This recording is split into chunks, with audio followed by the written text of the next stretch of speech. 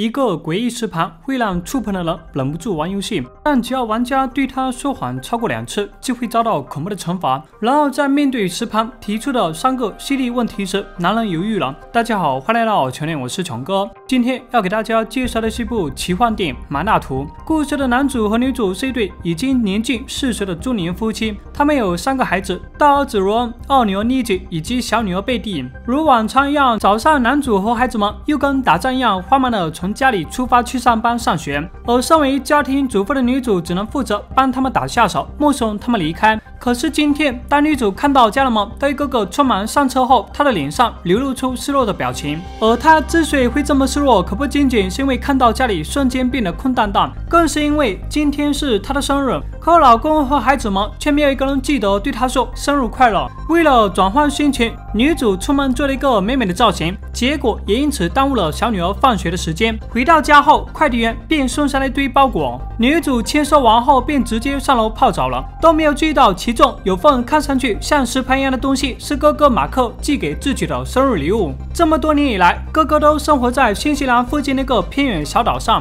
和女主的联系也很少。但作为哥哥，还是记得自己妹妹的生日，并算准时间在生日当天为女主送上礼物。小女儿看着发光的大石盘，感觉非常的新奇，她甚至以为那是什么奇怪的动物。而同一时间，女主正在给自己梳妆打扮，因为心中仍有期许的她，还以为丈夫回来后。会带领孩子们一起为自己准备生日惊喜。然而，正当他踩着高跟鞋下楼后，一切美好的幻想就像泡沫一样，全都破灭了。餐桌上什么都没有，孩子们坐在电视机前各忙各的事，丈夫也不知道在书房里面忙着什么。全家上下根本没有一个人在意她的生日，甚至可能没有一个人记得今天是她的生日。女主再次失落了，可丈夫也一直忙着打电话，根本没有注意到她的不对劲。晚上，一家人决定外出解决晚餐。奇怪的是，两辆车竟然全部被锁死了，天色也变得不对劲。正当男主准备用石头砸碎车窗的时候，天上忽然就下起了大暴雨。耐不住老天阻止，一家人只好放弃出行。在返回家中时，大儿子才看到了家里日历上的标注，知道了今天是妈妈的生日。而全家人也在这时候才恍然，开始纷纷向他道歉。机灵的小女儿也在这时候才把那个大石盘作为生日礼物拿到了女主的面前。就这样，一家人开始围坐在桌子前研究这个石盘的游戏玩法。一开始，大家觉得这就是个普通的游戏，但当大儿子开始扔木条的时候，眼前的一幕让大伙都惊呆了：石盘上的棋子竟然自己动了起来，而且当棋子走完相应的步数后，石盘中间就不可思议的出现了一个影像，把全家人都看呆了。这难道是什么高科技玩意？然后大儿子控制着里面的人影抓到了一只鱼，接着轮到了二女儿扔木条。这次石盘给她安排的任务是弹钢琴，二女儿也很快的完成了自己的任务。可轮到男主的时候，家里的电路突然就跳闸了。想着石盘给出的任务就是要让自己修复电路，男主独自来到了地下室，结果在打开电箱的时候，还是被小女儿藏在里面的玩偶给吓到了，气氛开始变得越发紧张了起来。很快，游戏顺序轮到了女主这边。这次石盘给她抛出的任务是回答三个真心话。第一个问题中，石盘问到女主的第一只宠物叫什么，女主很快的就回答了叫宝贝。紧接着，石盘又问到女主喜欢宝贝吗？她也很快的回答道是的。但到了第三个问题的时候，石盘突然问道女主今天偷东西了吗？很显然，这个问题一出来就把女主给整懵了。然而就在她回答没有后，石盘再也没有回应了。是的，女主说谎了。而这个有魔力的石盘也相当一个测谎仪，一旦玩家没有如实回答，它就会做出相应的反馈。尴尬的是，女主来到洗手间，对着镜子里面的自己说到自己犯下的错误。原来她今天确实不小心把一瓶饮料从超市里面带了出来，但因为害怕尴尬，所以她最后还是没有回到超市返还那瓶饮料。然而谁也没有想到，这个秘密竟然被石盘给发现了。这一下没脸面对孩子们的女主，只能让丈夫帮自己慌忙结束游戏，安排孩子们回屋睡觉。男主给小女儿讲完睡前故事，正准备离开的时候，小女儿突然对他很担心的说道：“明天家里会有个人将死去。”然而想着童言无忌的男主并没有太在意，他只是一边安抚着小女儿的情绪，一边告诉她那是不可能发生的事情，就离开了。第二天一早，男主和孩子们又如往常一样准备出门上班上学。然而诡异的是，大门竟然打不开了。不仅如此，就连家里的窗户也突然全部被封闭了起来，家中瞬间陷入到一片黑暗。桌上的吃盘再次亮了起来，看上去就像是示意他们要继续游戏一样。与此同时，女主的哥哥那边也来了一个客人，想要借走磁盘游戏，但哥哥告诉客人自己把磁盘寄去了大城市后，客人立马脸色大变。原来这个磁盘的游戏规则设定就是，如果玩家对游戏里面的提问说谎，第一次是可以原谅的，但第二次就会受到相应的惩罚。等到了第三次还说谎的话，必死无疑。而哥哥也在听完客人这一番话后，才知道把这个食盘游戏寄给妹妹是件错误的决定，很有可能会把他们一家子都带入到危险的境地。于是连忙起身收拾行李，准备出发弥补自己的过错。路上，哥哥一直拨打男主的电话，试图阻止他们开启这个食盘游戏。然而这时候，男主的电话却竟打不通了。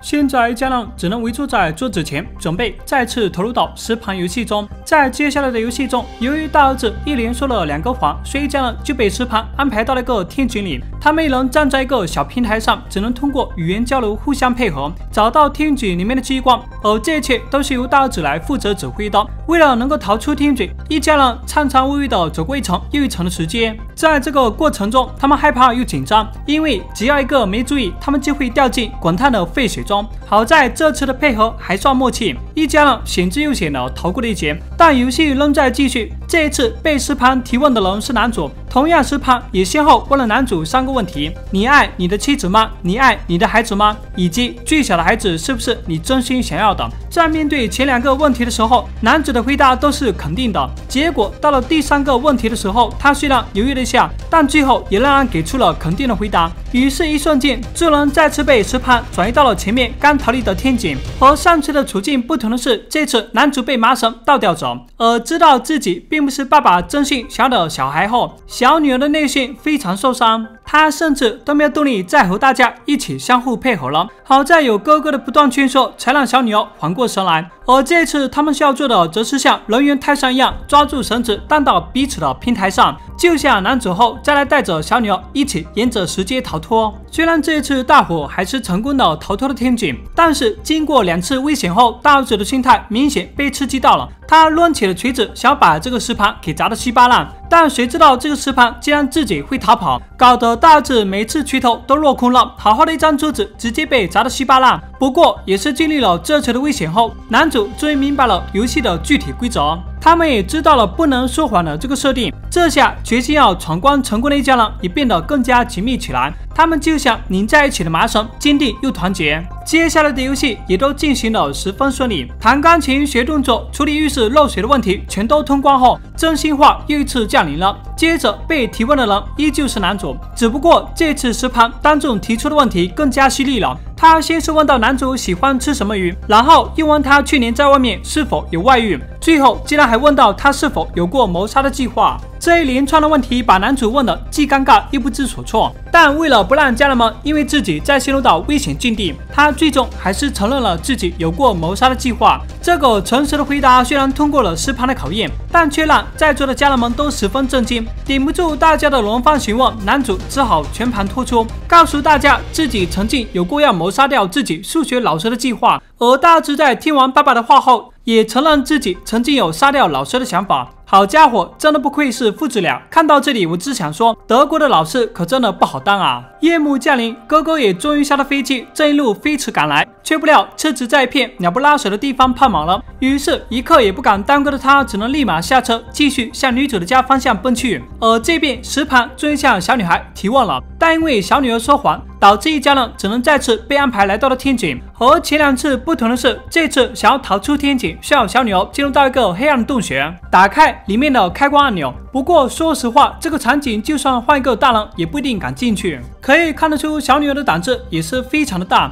虽然确实因为小女儿说谎，才让大家陷入到这个危险境地，但最后为了成功开启机关，她也牺牲了自己最心爱的娃娃。对于这个年纪的小朋友来说，这已经是一件非常不容易的事了。回到家后，实盘游戏问了二女儿三个问题，她也全部如实回答了。但是这也让男主和女主非常的诧异。他们万万没有想到自己的宝贝女儿竟然也做过一些让自己意想不到的事。正当他们准备深入追究的时候，女主的哥哥终于到了。奇怪的是，他进来的时候屋内根本没有被锁住，而且还自动为他打开。而哥哥看到大家围在桌前进行实盘游戏后，也算是坐了下来。在得知这家人进去三次天井后，他更是震惊不已，因为在以往的记录里面，没有人能够活着出来两次。影片的最后。哥哥也加入了游戏当中，最后在家人的团结下，也终于结束了这个恐怖的实盘游戏。本来哥哥还在为自己给女主送去实盘游戏而自责，但看到他们夫妻俩紧握双手，以及三个小孩紧紧环抱在一起的模样后，心中的自责感居然也消退了许多。而且最后，他也帮助小女儿找到了那个在天井中牺牲的珍贵娃娃。只是电影的结尾，女孩为何偷偷的留下了石板？这就有点耐人寻味了。故事整体比较简单，类似勇敢者的游戏，